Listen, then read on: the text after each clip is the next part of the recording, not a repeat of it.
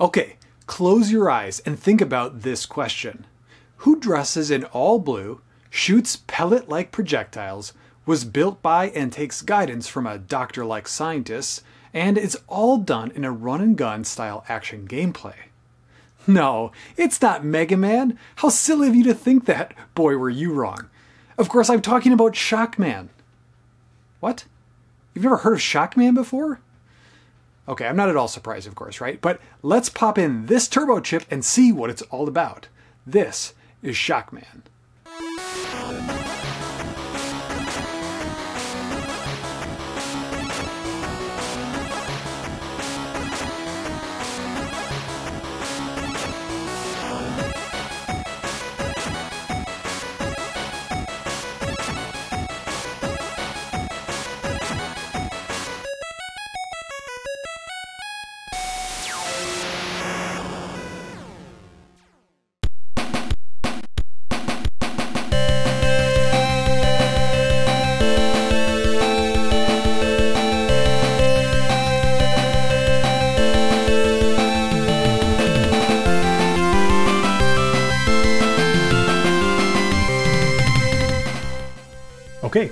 I even begin with this one?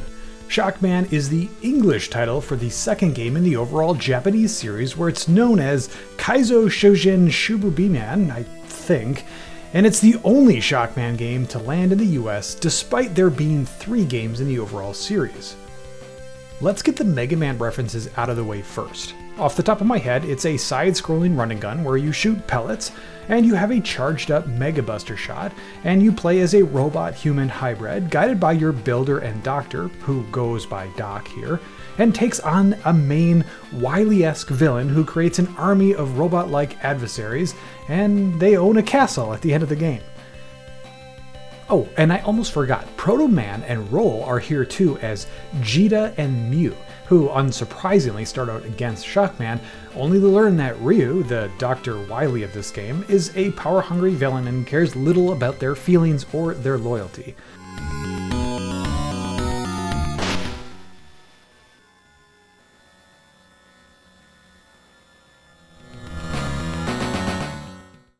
This game's Dr. Light fixes the broken robots, and, you know, it probably is just easier for me to explain what's not like Mega Man since it's far fewer. The game is rather linear, and there's no discrete stages, certainly nothing that you can pick or choose from, and there's no real map or overview either to understand your progress. You'll just keep progressing, and occasionally there's story and dialogue to help understand what's really happening as you keep going.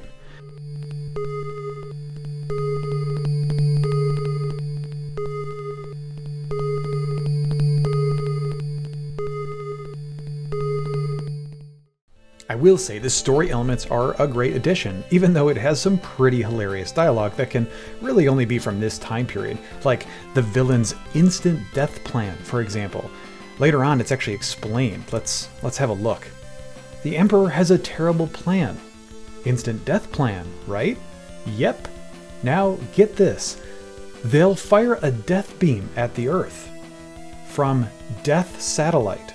Now, pausing for a second, this seems like pure gold. I mean, assuming it's not missing parts of the sentence, we have this entity now known as Death Satellite, which can fire death beams, and now I guess understandably under the plan called Instant Death Plan. But wait, there's more, as Shockman, of course, asks, Where's that? And our most helpful doc says, In the universe. Wow. You really can't make this stuff up. Fantastic. Anyways, back to the game. The stages are good and will use horizontal and vertical scrolling well to keep the platforming and pace fresh and enjoyable. You have a traditional health bar that can be sometimes refilled with random health drops, but it's nothing worth banking on as it's not uncommon to have very long periods of time without seeing a single one, only to get, of course, multiple back to back. The graphics are fantastic and can't be overstated with great sprites and parallaxing backgrounds with really vibrant colors that just make this game really pop. Accentuating those visuals is the music, which for the most part is really good and sometimes it's absolutely rocking.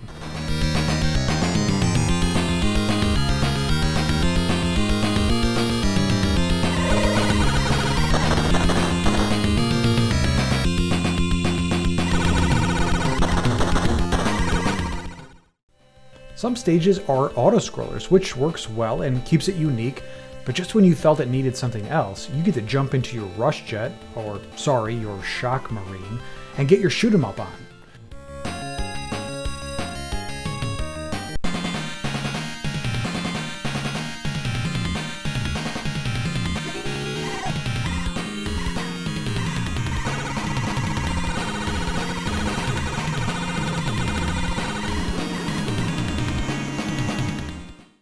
Later on, Shockman learns that he's an Autobot and transforms into an airplane to keep the shooter levels going too.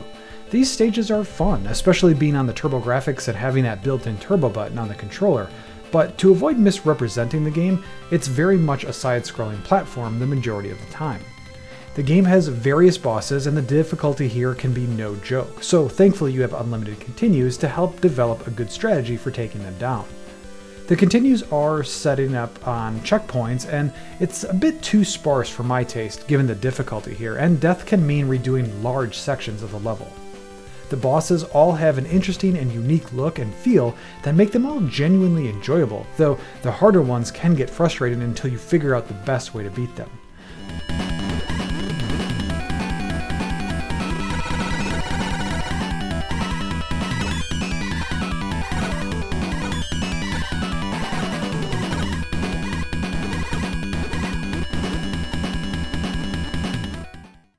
The final boss, no surprise here, is the Emperor Ryu, and true to his Dr. Wily connection, he rides a very Wily inspired stomper machine.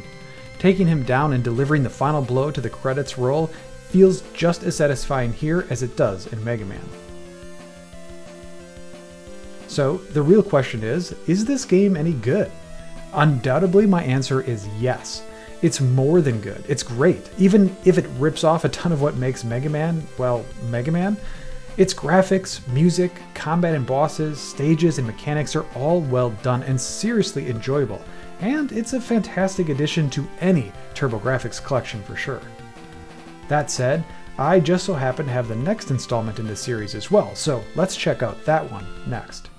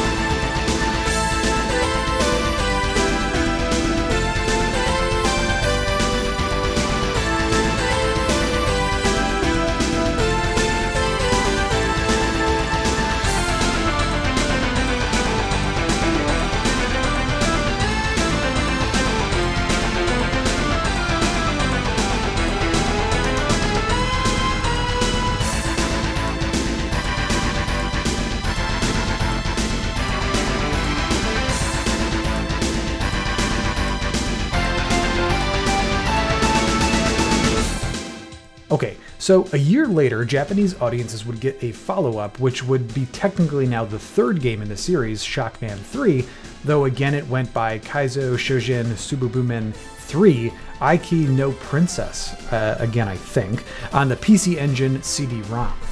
I popped this one in, but since it's all in Japanese, save for the menus that is, thank God, I have no idea what's going on in terms of story. That said, it diverges quite a bit from the last one, and so do its connections to Mega Man as well.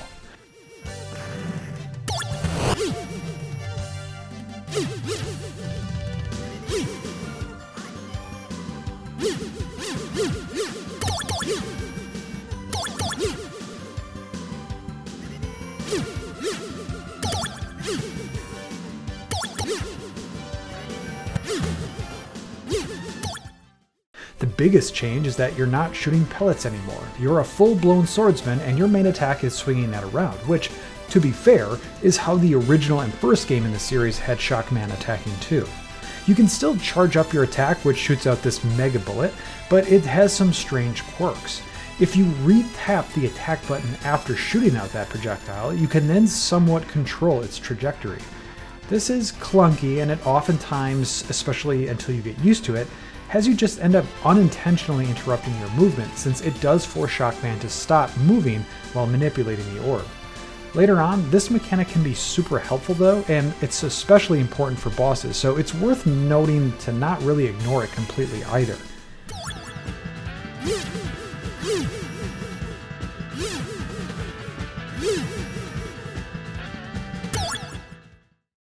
The jump and movement physics also got a revamp, and sadly not for the better. It's workable, but disappointing to see that it's a regression for this type of game. Another unwelcome change is that there's a lot less of the shooter based levels. In fact, there's only one, and the backgrounds for it are seriously boring.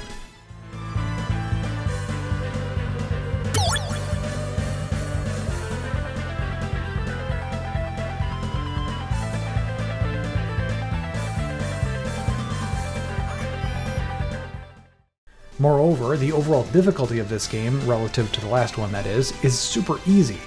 On my first playthrough, I beat the entire game in less than 30 minutes, long cutscenes included, and I bet I died less than 10 times total. Certainly a divergence there. Bosses, too, seem to have gotten incredibly easy with relatively few hit points to speak of. Most can be killed without any strategy except for mashing your slash button. Even the final boss, which is indeed the hardest simply because there's just no room to maneuver, forces you to just slash faster than you get hit for a very uninspiring end.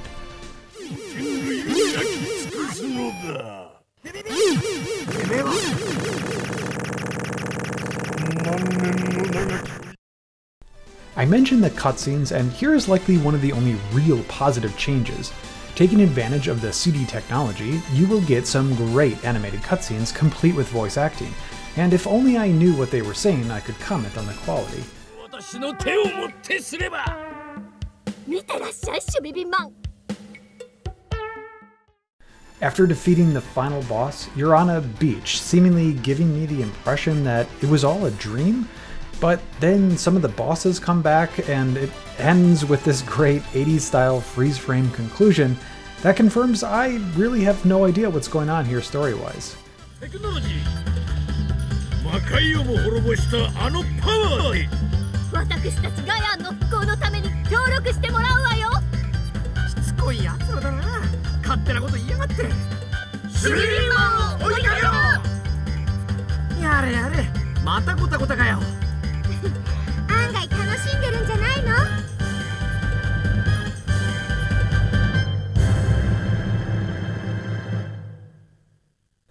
Overall, I can't recommend this one, and I'm not super bummed it never got localized to the US, but it's not terrible either, I suppose. I mean, certainly worse things are out there.